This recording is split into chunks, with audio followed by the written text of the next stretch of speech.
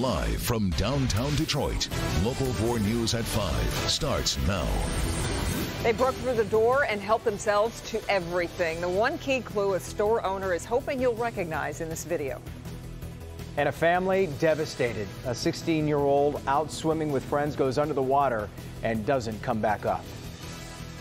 But we begin on this Memorial Day with sweltering hot weather. Right now it's 91 degrees in downtown Detroit, and you aren't getting any relief in the suburbs either. It's 91 degrees there too right now. Uh, and right off the top here, Belle Isle has been closed temporarily because of overcrowding. State police say they'll monitor the situation as people leave.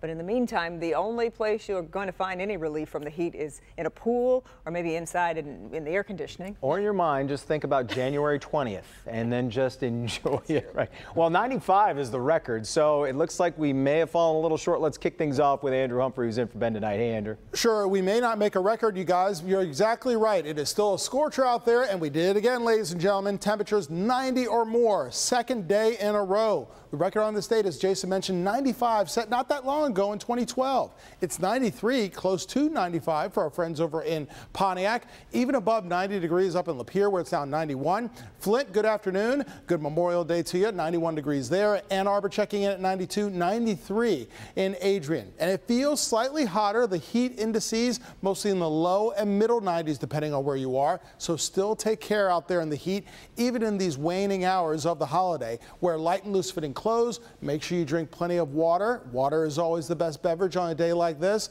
And make sure you take action. Check on your neighbors. You can take a break from mowing the lawn because remember, it's still an air quality alert day for today. And as always, kids and pets away from empty vehicles. Even though you'll feel that temperature drop, the temperature inside those cars can skyrocket just like that. What about temperatures later on this week? We'll talk about that. An update on subtropical storm Alberto. It's made landfall. Does it make its way here? I'll answer that coming up.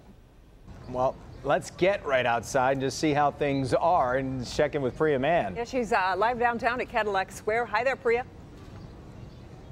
Hey, Kimberly Jason. So I got to tell you, I went with a summer dress and a ball cap. You got to do what you got to do to stay cool out here, but a lot of families are having fun. You've got kids, they're playing basketball, taking full advantage of the courts. You've got couples enjoying the beer garden, and then you have other families who are having picnics under the shade. So we just don't put it all over in there. Keeping cool starts with staying hydrated. If you're not in shade, you need to stay hydrated. You come out here with your family, have fun, no drama, um, just cool, you know, Detroit. And if drinks aren't enough, the splash pad at Mount Elliott works too.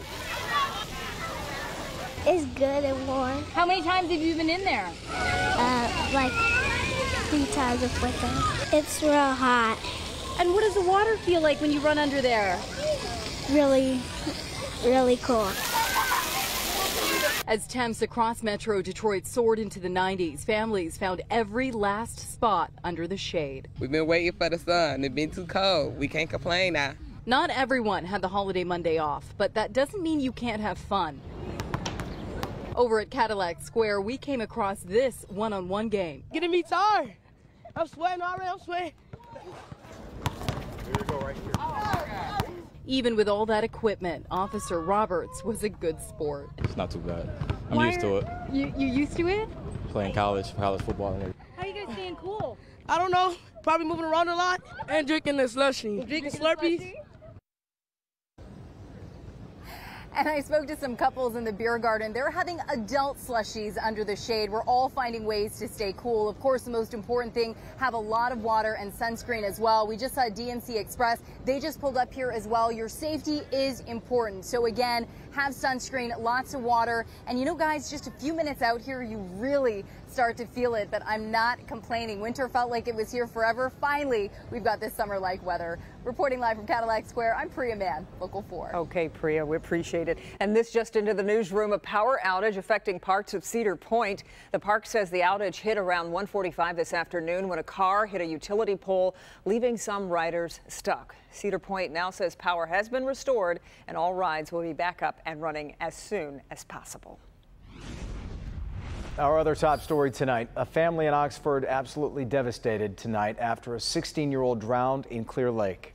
Oakland County sheriffs say LaFrance Marshall went swimming with friends just after 7 last night and went under the water about 50 feet offshore. Nick Monticelli just talked to the family. Nick, I know it's hard to imagine what they're going through right now.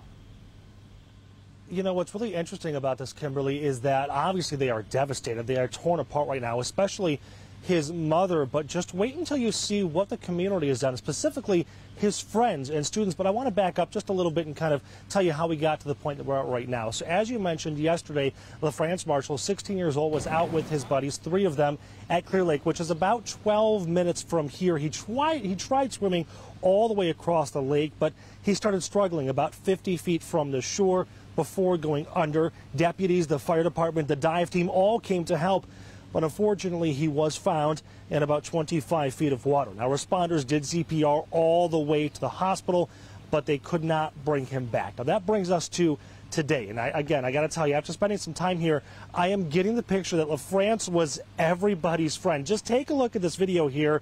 The word started spreading really quickly throughout this community that LaFrance passed away yesterday. So today, nearly 200 of his friends showed up at a nearby elementary school. They walked about half a mile down the main road to his mother's house. All of them wanted to give her flowers and hugs for the entire family, for especially this mother who just lost her 16 year old son. And his family says they know that France was loved, but not quite this much.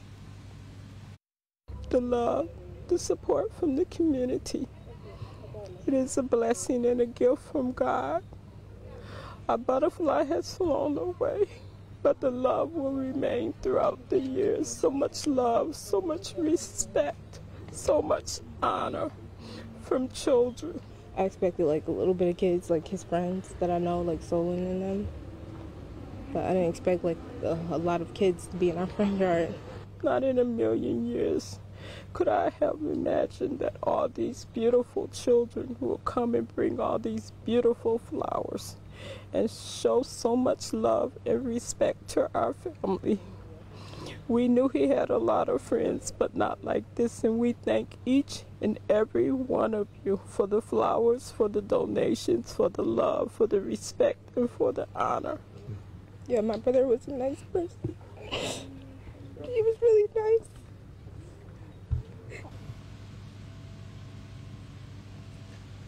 Now, I've got to tell you, I've been doing this for about 15 years now, and rarely do you see that many people come together this quickly. And, and mind you, Jason and Kimberly, this wasn't put together by adults. These are 15 and 16 year old kids that decided that their friend meant so much to them that they wanted to come here to mom's house and show their support. Now, coming up on Local 4 News at 6 o'clock, we're going to talk more about that support and what the school district is doing to make sure this family and the rest of those kids are okay.